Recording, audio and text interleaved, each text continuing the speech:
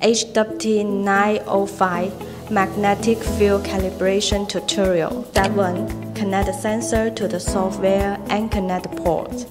Step 2. Use the compass to find north and place the sensor with the y-axis facing north. Step 3. Open the configuration, select the port and click Magnetic Field. Step 4. Click to start calibration.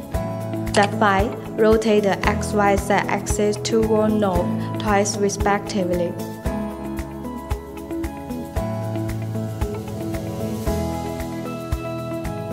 Step 6.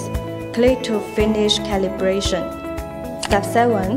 Click to write to parameters. Step 8. Click OK to complete calibration. Inspection.